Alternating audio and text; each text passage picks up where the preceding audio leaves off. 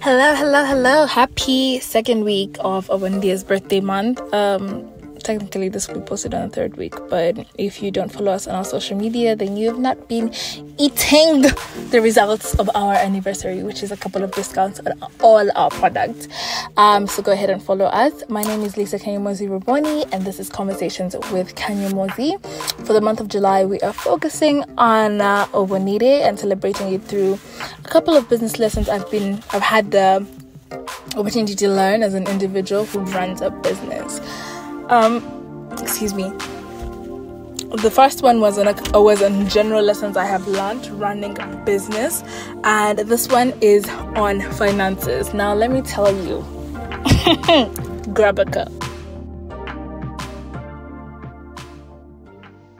So when I got into business, I was very, very heavy on I don't know math like that. I just don't know numbers. I'm not I'm not good with numbers and I don't know math basically. Like I'm the creative. I'm all these other things not the math not the math. This is not even a lesson. This is an important tip an important note. Whether you like math or not whether you can add or subtract or not if you get into the business of business you are going to just you're going to have to become an auditor an accountant. Like little by little. I'm seeing three years. The things that make sense to me now that a year in six months in, I was just like, I don't want to be bothered. but right now, I am the most bothered because finances are what keep and run a business. If you don't have your finances in check, then you are just playing games. If you are not making money, you're just wasting your time, you're wasting a good time, you're wasting efforts. If you are not able to keep your business afloat, and the only way you can is by having money in the account. That's the only way. Then just close let's pack up let's pack up and just choose to name whatever you're doing something else so here are a couple of lessons um number one is bookkeeping when I got into business, uh, my friend Mumbe Carol, who's you know very clever, um, she like early on, I didn't understand it at the time. I was at twenty, I was just figuring, just happy that we're making still, and now I can go and buy ice cream. Um, she told me bookkeeping like even the 200 shillings that you pay for smss even the you know 500 shillings that you're gonna put um calls for the day on even the like whatever it is as long as you're spending money from the business going into the business put it down. I didn't understand it because I was like, now 500 shillings. Like, why would you record it? But 500 shillings every day for seven days is a certain amount that matters to your business, right? So, records, records, records. Um, records also help you know if you're making money, if you're not making money, where are you lagging, where are you not. Um, for a product based business such as mine, record keeping has really just helped me determine like in this season this makes sense for us to spend on this doesn't. We can hold production of this. Um it's not coming in. We can rethink this reevaluate this business decision. Is it making sense? Um is this profitable to us? Is is this beneficial in the short term and the long term?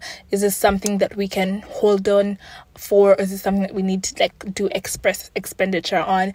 So record keeping really really sets the pace of how money is flowing in and out of your business and it's so important just to look at it also you see which seasons something that record keeping has also helped me as a business owner is seeing which seasons we are making the most money in and how to capitalize on that. Like there are seasons within your business where it's just like let me tell you, January I think is so rough for all business owners. That January March period as people are getting back into, you know, getting back into their accounts like your your your business is just like where? Where? Like your business is at risk. It's at constant risk. So if you don't have reserves to keep keep the cycle going in that season uh, my dear it might be your last few months.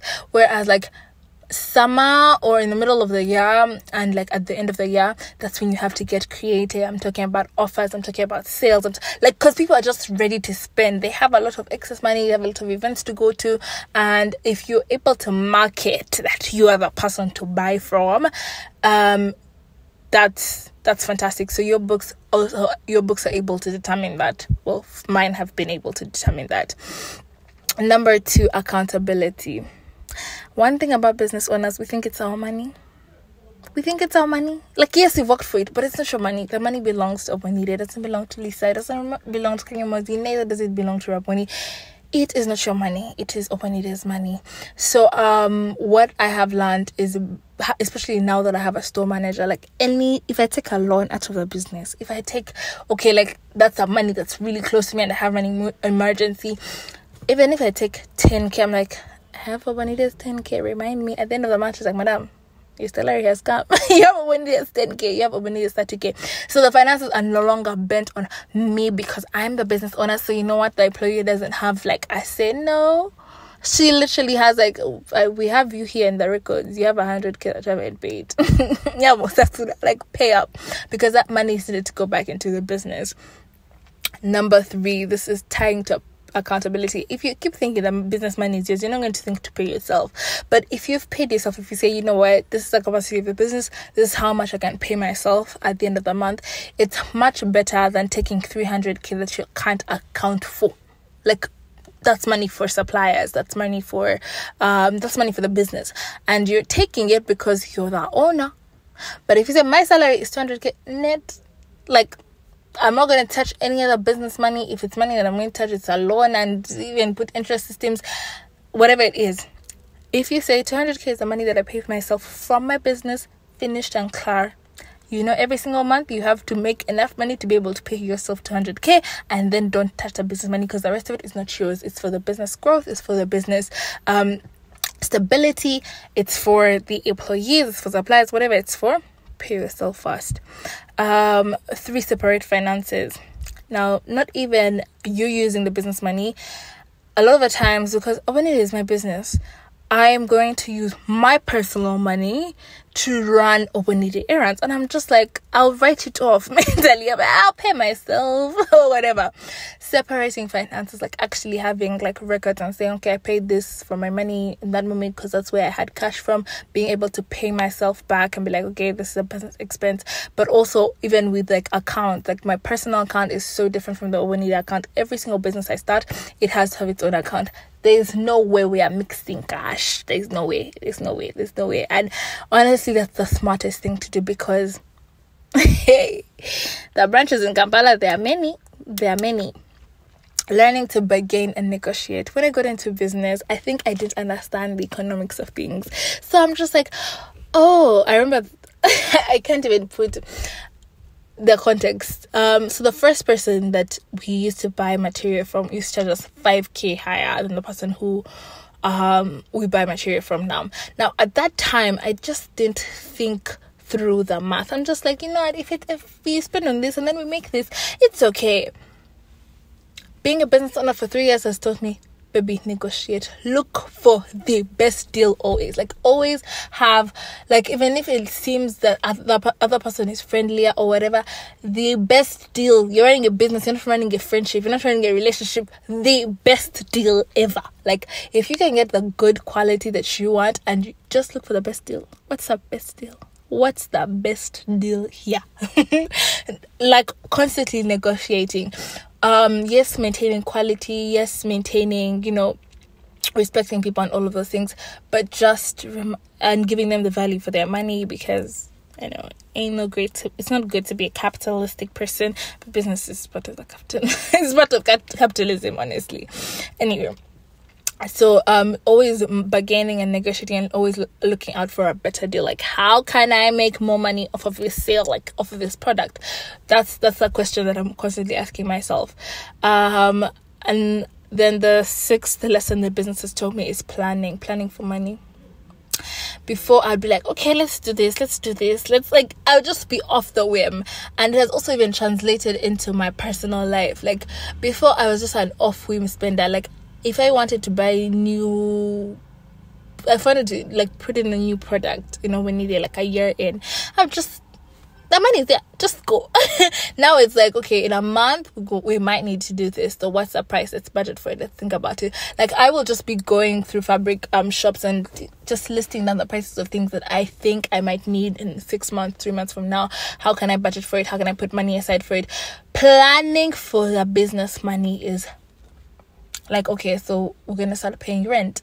This and this much is expected of us. Okay, can we make sure that the next two months we've been able to cover like six months of rent so that we ensure that at least at the end of the year we will still have a physical outlet? Okay we've got um an employee. This is how much she's going to be paid. Like work through the logistics of making sure that that pay is accounted for period. Um before if there was like a shout out to Tobayo, if there's a Tobayo market day, like I could decide two weeks to that. Oh, let's go. no, it's like okay, we're going in January. Why? Because I speak this and this, so we're able to make sales. We're going in July because of this. We're going in December because like now I'm just like, does it make financial sense to the business? If it doesn't, we are not part. Um and then finally building supplier relationships if you're a business owner this is the way forward because there are seasons where your business won't be making money. There are seasons where you won't be breaking even. There are seasons where you will be struggling and you have to like negotiate your way through it. For example my jewelry supplier those guys they trust me. That i can go three months three months I've not cleared that debt. I've just been putting deposits and I still have jewelry. I can still make an order because they know ah, Ash it's just gonna pay regardless. Because we've had a relationship over the past three years. The guy who gives me say Ankara fabrics, even him, he knows like I there's the time when I was not in town and I wasn't able to process payments and I like literally had a week to be back in town. He's like, no, no, don't worry. Like me, I know you're going to pay me regardless, so don't worry. You take the fabric, we shall sort ourselves when you're ready. Um, so yeah, so being able to build relationships that work for your business because your business has to run regardless. so make those financial decisions. The times when I say, hey, this, this is the bad banja. I'm going to banja is dead. This is a bad debt. I'm going to service this one. I know I can hold this one on for two two more weeks this is a lesson my dad taught me, but I never thought about it because I'm just always like I, I run business like my mom for a, for a long time, but I'm now becoming like my dad, um, in a couple of ways, not all of them. But my mom is the type of business owner who is like, I'm going to clear everyone even if my bank is left on zero. My dad is like, hmm, this one is pressing, this one is not, this one is pressing, this one is not, and that's honestly what uh, building relationships is for. By the way, don't like don't over delay, don't take people for granted, obviously, but it's just be smart about what you need to spend on and what can carry your business from now till next next month. Yeah, and those are seven financial lessons I have learned as a business owner. I hope they help you in your business as you start, as you think through. Ah, the final one, it's eight. Guys, go and do business classes. Do business classes, business training, learn about a business. Like, trust me, you need this. You 101% need it. I came into business thinking I don't. I did two Stanbic incubator classes that that airlifted me to, the place that I'm at right now in regards to business and thinking about it. So go ahead and study business. It's either look for online classes, um, go to YouTube, University of YouTube get mentorship from people who are running businesses. Um, let no one tell you there's no smooth ride. It's not smooth ride, especially when it comes to business finances. Be ready to struggle and suffer, but you'll make it out alive. That's all I have to tell you. Thank you for listening to Konversations with Kanyomozi. Please go ahead and follow us um, at Konversations with Kanyomozi on Instagram. We are opening a Twitter page. Excited um, you can also follow me personally at Kanyomozi Roboni on um, Instagram, Twitter, and Snapchat. Bye bye.